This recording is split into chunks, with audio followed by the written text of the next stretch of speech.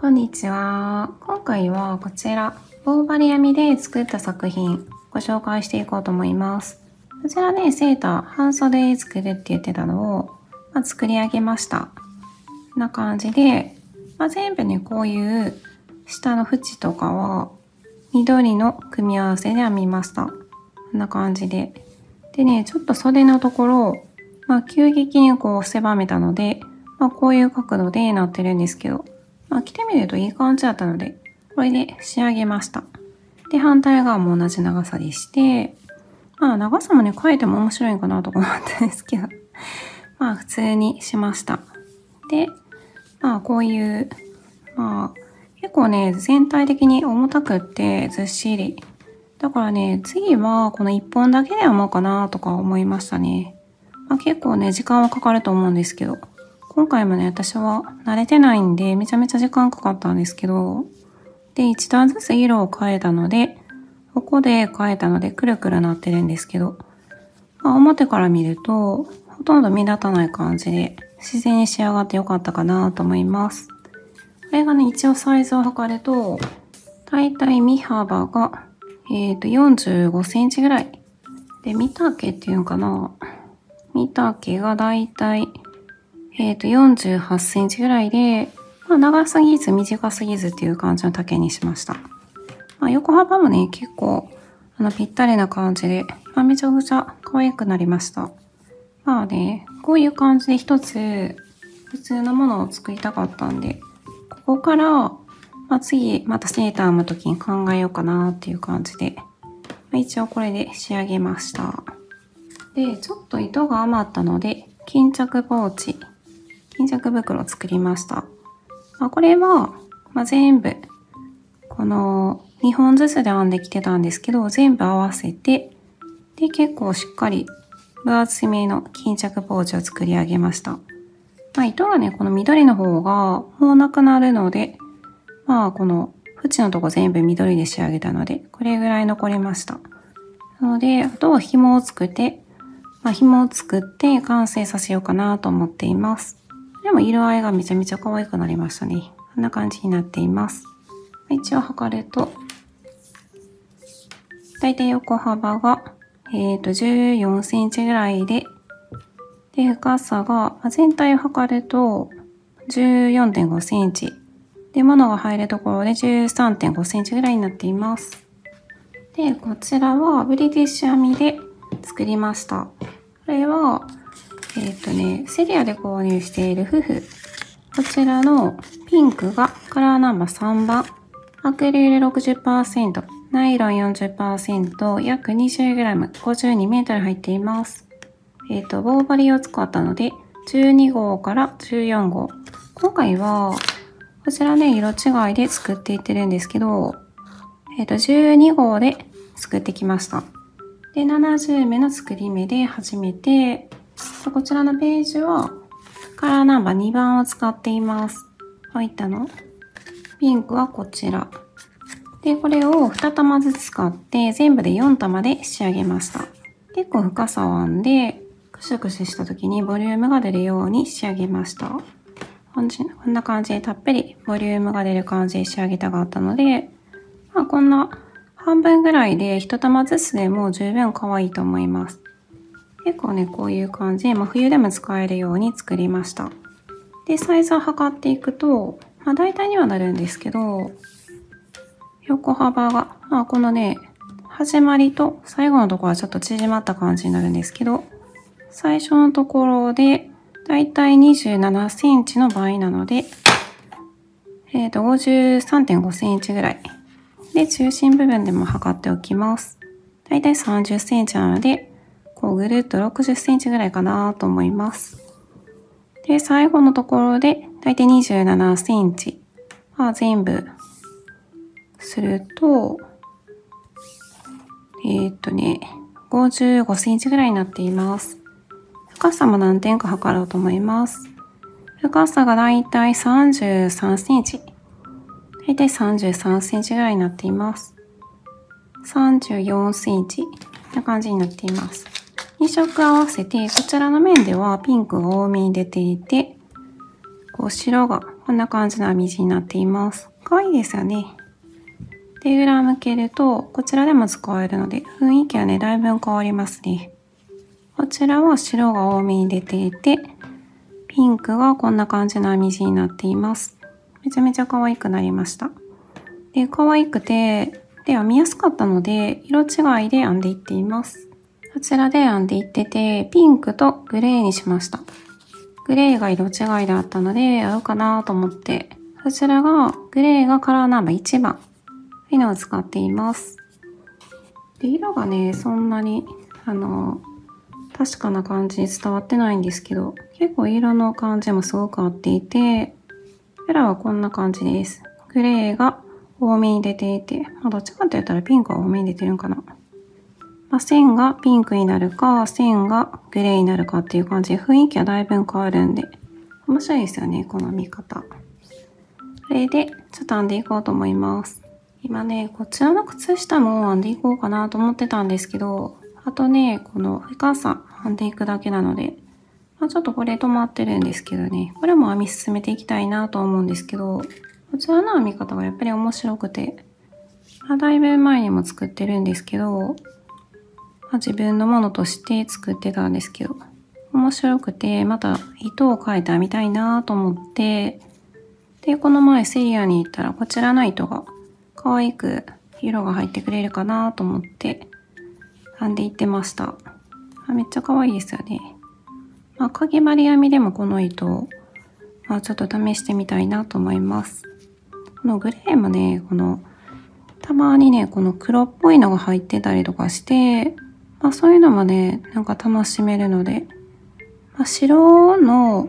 なんかもともとは白のところにグレー、で、もともと白のところにピンクっていうのが、もう部屋でついていて、ポコポコしててめちゃめちゃ可愛いですよね。これもね、あと、何やったかなえっ、ー、と、ネイビーかな黒かなあれは。ちょっと覚えてないんですけど、もう一色あったような気がします。まあ、ネイビー、まあ、黒っぽい糸とグレーとか、まあ、全部やってみたいなと 思って、全部2色の組み合わせ。で作っていきたいなと思ってるんですけど、まあ、変になったらちょっとやめるんですけど、まあ、いい感じになりそうやなと思って、まあ、今のところまだ買ってないんですけど、まあ、これができてからちょっと買いに行こうかなと思っています。このふわふわしていて肌触りもすごく良くて、まあ、ネックウォーマーにもぴったりだなと思いますね。まあ、首にこうピタッとひっつくっていうか、そんな時にこういう肌触りのいいのがいいですよね。結構こういうふわふわのでもギシギシ、なんていうかな、ちょっとチクチクする場合があるなと思うんで、そういう点ね、これはすごい、なんかずっと触っときたくなるぐらいふわふわしていて、すごく首の周り持っていっても全然チクチクしないのでいいですよね。な。これもね、もしかしたらピンクとピンクでもこの編み地がこうやって変わるんで、まあ楽しめるのかもしれないですけどね。まあ今のところは2色で組み合わせることが多いんですけど、まあ段染めと単色とかね、まあいつものパターンで、まあこれもね、すごくこう両方色がしっかり出るので楽しめますよね、この編み方。めちゃめちゃこうね、あの表の編み方と裏の編み方も違って、まあこう開けるかなっていう頃に次また、これ今表編みなんですけど、裏編みが来て、まあ、飽きずに進めることができるし、で、可愛く出来上がるし、すごいいいですね。なんかね、でもやっぱりすごく時間かかるんで、まあ、影あり針も時間かかるんですけど、もっと時間かかるなと思うので、まあ、動画の更新もね、なんか毎日みたいな昔はしてたんですけど、そういう感じではできなくて、まあ、どうしてもね、その、なんかコメントで、なんか教えてくださいとかあったんですけど、まだまだ、あの、なんていうかな、あの、伝え方が難しくて、まあ、鍵あり編みの時もそうだったんですけど、こうね、喋りながら、なんていうかな、なあの、どこに入れてとかいう伝え方が難しくて、なのでね、もうちょっと慣れてくるとできるのかもしれないんですけど、今はちょっとできないんで、あの、こんな感じの動画のスタイルにはなるんですけど、よかったらこれからも見てみてください。まあ、影あり編みもね、ちょっとしていこうと思って、まあ、いつもやってるんですけど、ではなかなか手が回らなくて、そこまで。ここでね、裏編みに変わるんで、まあね、今と違う編み方っていうか、針の入れ方になるので、で、色も変わるしね、ずっとこんな感じで一段ずつ色を変えながら編んでいくことができるので、まあ、飽きずに進めていくことができるなと思って。他にもね、こういう棒針の編み方があったらまたハマってしまうかもしれないですけど。まあ、こういうところもハマるあの、ポイントですよね。こうずっと飽きずに編み進めることができるっていうの。やっぱりね、ミリアス編みすごい好きって言ってるんですけど、やっぱりね、途中で眠たくなってくる。あの、かぎ針の細編みも大好きとか言ってても、やっぱりずっとね、細編みだと眠たくなってくるんで、まあこうやって、まあこれもね、眠たくなってきたりするんですけど、まあずっとミリアス編みっていう感じではないんで、眠たくなってきた頃に、ちょっと違う編み方になるんで、色も変わるし、とかね、今のところ眠たくなるとかいうのはないですね。まあ、このずっとね、同じことするっていうのが私は大好きで、だからね、割とメリヤス編みもずっと編んどける方だとは思うんですけど、それでもね、眠たくなるんで、まあ、メリヤス編みのなんか作品を編んでたら、まあちょっと違ったものをセットで、セットでっていうか別で編んで、あの、進めていくことが多いですね。って言っても、できることが限られてるので、まあ本を見ながら、柄を、こう、こうかな、かな、みたいな感じで見ながら進めるとかそういう感じにはなるんですけど。ながらもね、めちゃめちゃやっていきたいんで、まあ、影針もね、そのする時間がなくて、もう棒針もハマりかけてますよね、私。で、またね、ちょっとずつね、できるようになってきてるから、またもう楽しくって、あの、かぎ針編みのちょっとできてきた頃に楽しくなった感覚に似てて、まあこれはまたハマるなぁと思って。まあね、たくさんハマるものがあって困っちゃいますよね、次は。なんか、嬉しい悩み。まあね、糸も全、あの、いろんな素材で出てくるから、同じ編み方でもめちゃめちゃ楽しめますしね。前のね、モナーとルーエゲ、ルーエかな？これもね、組み合わせめっちゃ可愛かったから、もうちょっとね、あの、なんだっけ？えっと、モナ。今言ったこと忘れて モナが残ってるんで、まあ、ルーエと組み合わせてもいいし、まあ、違う糸で組み合わせもいいし、もうちょっと残ってるので楽しめるなと思って、だいぶね、半分以上多分残ってると思うんで、あの、またこういうこの編み方をするんだと思うんですけど、一回は、粉で、まあ、なんか組み合わせしようかなと思ってるんですよ。でね、これを進めながら、まあ、靴下も今取り掛かってるんで、靴下今、あの、作りかけがあって、で、またね、セーターで柄の、まあ、編み込みのものをちょっと取り掛かりたいなと思ってるんですよ。で、今考えているのが、あの、この前、やっと進んできた、進めてこれた三角ショール、あの、前回お伝えしてるんですけど、やっとできたんですけどね、ちょっと、あの素材で、まあ、セーター 編もうかなと思って。で、あの柄をね、あの、やっぱり細い糸で編んだ方が可愛いかなと思っちゃったんですよね。まあちょっと置いてることで、ちょっと、あの、いい意味でも悪い意味でもお熱が冷めるっていうか、ちょっと考えが変わっちゃって、だからね、せっかくあそこまで大きく育ったんですけど、まあ、ほどいて、細い糸で編み直すかもしれないんですよね。っていう楽しみもあるし まあ、ほどくことにね、そんなストレスもなくなったし、棒針編みで。これもね、結構何回か見落としてるんですけど、それもね、綺麗にあの拾えるようになったし、まあ、そういう意味でもね、こう、ストレスがなくなってきましたね。なんか前は拾えないことで、あの絶対間違えれないっていう、その、力入った状態で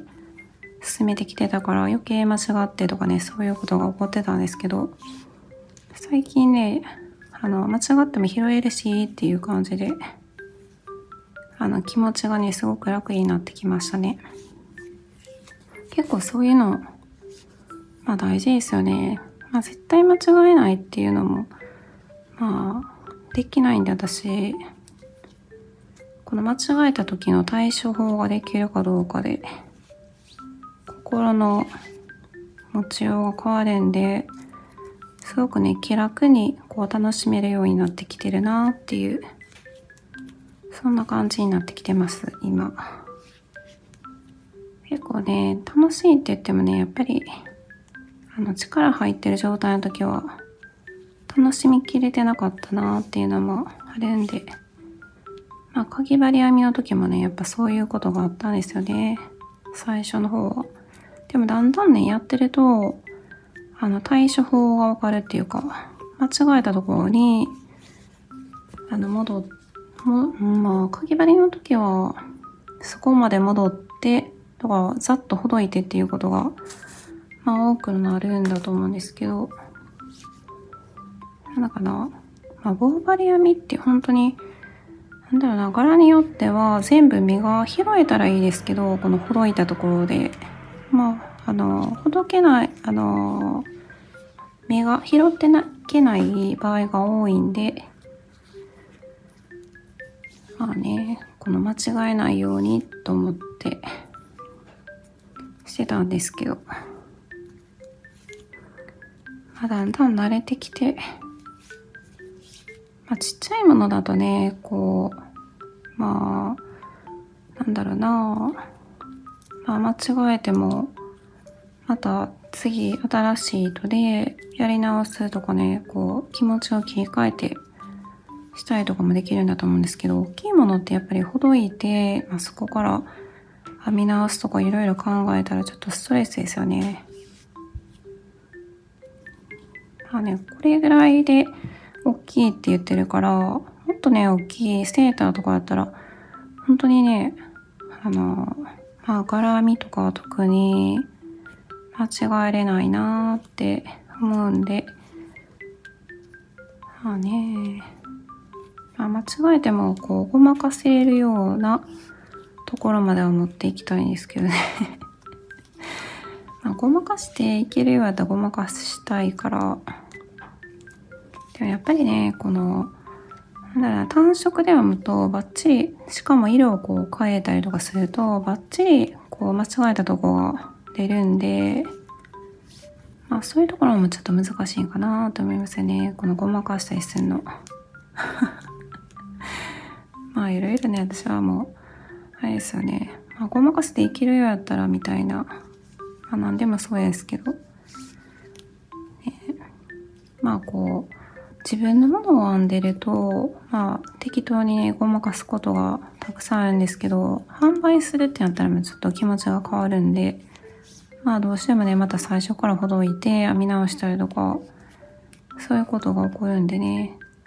なんかこの前、このブリティッシュ編みで編んだモナーの、モナーとルーエ。一つはね、あの、販売させていただいたんですけど、まあ、一つはね、その、もう間違いだらけで、これは販売することはできないと思って自分で使うようにしてるんですよ。まあ、可愛いし、で、よく見ないとわからないなと思ったんで、まあ、糸始末も全部して、で使うようにしてるんですよ。まあ、めっちゃあったかいしね、使えるなって思うし、可愛いし。だからね、ちょっと使うのが楽しみだなっていう感じはあるんですけど、やっぱりね、販売するってなったらね、また違いますよね。だから販売させてもらったものは、あの、もう慣れて、まあ、これもそうなんですけど、もう間違えてないんで、販売させてもらったって感じですね。これもね、さっきお見せした、こちらはね、綺麗に仕上がってるんで、こちらも販売させていただこうかなと思ってます。可愛いですよね。でね、こう結構大きいんで、膝の上に乗せててもめっちゃあったかいと思うし、こうふわっとね、すごくね、肌触りいいですよね、これ。これ、色がね、このグレーに変わるだけで、白がグレーになるだけで、だいぶ雰囲気違いますよね。同じ面でこうやってお見せすると、こんな感じ。めっちゃ可愛いんですけど。で、あとね、組み合わせ、グレーと白もできるなーって思って。まあ、これ編み終えたら、まあ、それもしなきゃなーって思って。まあ、することがいっぱいありますよね。しなきゃなーっていうその楽しい気持ち面白いですよねこの編み方こんな編み方あるんですね。と思って。めっちゃ面白いんですけど。ずっとね最近棒針編みしてますね。棒針編みってこんなに面白かったんだと思って。なんかねコメントでなんか棒針派だったんですけども、小太郎さんの動画でかぎ針派になりましたとかめっちゃ嬉しいんですけどね。私逆になりましたね。まあ逆っていうか両方好きなんですけど、なんか今まで棒針編みがこんなに面白いと思ってなかったんで、今ちょっとかぎ針お休みしていて、で、棒針っていう感じになるんですけど、まあ結局はね、最後はまあ、両方するんだと思うんですけど、まあ、どうかな。まあ、もしかしたらどっちかは熱が冷めて、棒針だけになるか、まあ、かぎ針だけになるかっていう。まあ、かぎ針もね、その、結構やり尽くしたっていうか、なんだろうな、私の中で。まあ、全部できることはしたかなっていう。まあね、私、かぎ針で、あの、服作るのが、まあそんなに、あの、私は楽しいって思えなかったんで、まあ、服とかは作ってないんですけど、まあでも、したら楽しいのかな？かぎ針で服作るのも。あの、食わず嫌いじゃないけど、やってない、編んでない嫌いみたいなことなんかな。まあ、やってみたら楽しいのかもしれないんですけど、まあ、やりたいなって思ったことがなくって、かぎ針で服。まあ、棒針でね、服は、あの、過去に一回作ったことがあって楽しかったっていうのも覚えてるし、まあ、それでね、まあ、まあ、楽しいだろうなと思って、まあ、さっと作ろうとも取り掛かることができるんですけど、どうなのかな楽しいかなかぎ針。かぎ針で服作るってなったら、結構こう、まあ、柄とかも、まあ、普通にこうまっすぐ編んで、まあ、下から編んでも上から編んでも、まあ簡単に作れるとは思うんですけど、ね。まあ、バッグ作る感じと同じ感じですもんね。ぐるぐる編んで、で、底がない状態で、まあ、ぐるぐる編んでいって、で、まあ袖も後からつけてもいいし、まあ、簡単にできそうかな。どうなんやろ。でも結構ね、かぎ針編みはちょっと重たくなるイメージかなと思って。あの、糸をすごく使うじゃないですか。なんか、ミリアス編みよりは細編みの方が、あの、分厚く仕上がる、分厚く仕上がるというか、糸をたくさん使って、まあ、細編みでずっと編んでいったらあったかいんかな。冬とかは。まあ、するとしたら、こう、柄とか編んでみたいなとかいうのもあるし、まあ、全然ね、やったことないんで、かぎ針で服とかどんなもんかちょっとわからないんですけど。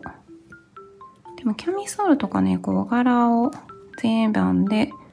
で、この紐のところを普通に、あの、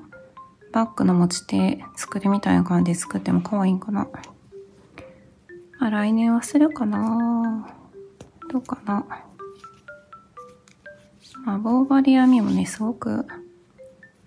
慣れてくると、ささっとね、ああしたいな、作るみたいな感じでできるんだと思うんですけど。ま、かぎ針でキャミストールとか、まあ、バッグを作るみたいな要領で、まあ、すぐできそうな気はするんですけど、まあね、まあ、持ち手のところを、こう、紐の、まあ、向こう側とつないでっていう感じで、簡単に、ね、簡単にやろうと思ったら簡単にできると思うんですけど、結構凝ったものを作ろうと思ったら難しいんかな。ね。まあ、こういうのも奥が深いですよね。いろいろ発想も、あの、あるし、いろんな発想があるからね。でもなんかこう、お店とかで見て、こういう服作りたいなとかいうので、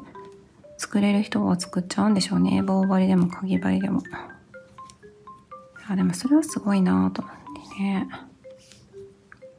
で、サイズとかもね、やっぱり自由自在にできちゃうだろうし。まあそういうところまで来たらもっと楽しいんだと思うんですよね。で、販売されてる糸で、なんか色の組み合わせを考えて、ま、楽しいですよね。絶対に。私はこう、大針編みも、まあ基本的にはこう、小物をちょくちょく作って、で、小物っていうのもね、やっぱり完成が早いから、達成感がすぐ味わえるし、まあ、成功体験は結構ね、早く積んでいけるなと思って。だからそれでね、結構自分に自信がつけれるしっていうので、ちっちゃいものをね、完成させることをたくさん経験して、まあ、今もね、セーターとかは編んでるんですけど、まあ、セーターとか大きいものを、こう、狙っていこうかなと思っています。まあ、かぎ針編みもね、最初始めた時はそういうことでちっちゃいことをずっとやってたんですけど、あ、それがね、やっぱり楽しくて、まあ今もずっとちっちゃいもの なかなかね、大きいものにいかなかったんですけどね、かぎ針編み。いつかは大きいものをって思ってたんですけど、まあショールとか大きいものになるんかな。三角ショールとかはね、バンバンたくさん作っていたんで、まあ、大きいものになるんかな。服とかまでいかなかったですね。でも今もどっちかっていうと、かぎ針編みで服っていうよりは、服作るんやったら棒針編みで編みたいなっていう気持ちの方が強くて、まあ、どうかな。でも考えはね、変わっていくから こう言っときながらもね、かぎ針編みで服作りましたとか言ってるのかもしれないですね。まあ、あの、棒針編みで、これ作りたいなって思ったあの本。そこにもね、かぎ針編みで服の作り方載ってるし、もしかしたらそういうとこからね、かぎ針編みの服を作っていくかもしれないんですけど。まあ、可愛く作られてますもんね。ああいう写真とか、あの、着てる写真とか見ると、まあ作りたいなって、やっぱ思って、まあどうなんだろう。あの、かぎ針と棒針って、まあその柄にもよると思うんですけど、結構ね、私のイメージでは、かぎ針の方が糸をたくさん使うんかなと思っているんですけど、どうなんやろまあ、冬とかはあったかいからいいんかな。結構ね、ずっしり、まあさっきのセーターとかは2本撮りでしてるから、結構重たい感じだったんですよね。やっぱり軽く仕上げようと思ったら1本でするしかないかな。いや、それだったら冬とかね、暖かくないかなとか。まあ、これもね、経験なんかもしれないですね。前こうしたから次はこうするみたいな。まあいろいろね、たくさん経験して、あの自分のこれっていうのを作り上げていこうかなと思っています。ね、楽しいですよね。こんな感じでね、あの、いろいろ作っております。100均糸もね、こうやって、あの、なんか合うかなと思って進めてきてめちゃめちゃ可愛かったんで、まあ、いろんな色のこのパターンで作っていこうと思っています。すごくね、肌触りが良くて、めちゃめちゃ気に入りましたね。棒針編みですっごく編みやすかったんで。あ、これはね、結構こうやって伸びるんで、私の好きなタイプの糸ではなかったと思うんですけど、なかったんですけど、かぎ針編みの時、ちょっと編みにくいなって思ったんで。でもね、棒針編みであの、編むと、結構編みやすい、編みやすいっていうか、編みにくさはないなって思って、で、これで1個完成させたので、次これまた、あの、買いに行ったんですよ。2玉ずつ必要だなと思ったので、で、同じ大きさで作りたかったんで、こちらも70目で編み始めて、で、次はグレーと、えっと、ピンクで組み合わせてみようと思って、また買い足したんですよ。ピンク2つ、グレー2つ。で、これでまた1つ出来上がって、やっぱり可愛いなと思って。で、肌触りもいいし、すごくボリュームがある感じで使いやすいなと思うので、次はさっき言ってたグレーとベージュ？これベージュですよね。ベージュを組み合わせて作ろうかなと思っています。こんな感じでね、あの、何枚か。まあこれ、私はね、よくあるパターンなんですけど、まあ好きでね、ずっとやってて、まあ飽きるっていう だから、きて違う編み方をしてるんかもしれないですけど、それまではね、この編み方にハマってるんで、こちらをいろんな糸で編んでいこうかなと思っています。こんな感じでね、最後までお付き合いくださった方ありがとうございます。こんな感じでいろんなパターンで作っていこうと思います。また作った動画とかご紹介できたらなと思います。最後まで見てくださった方ありがとうございます。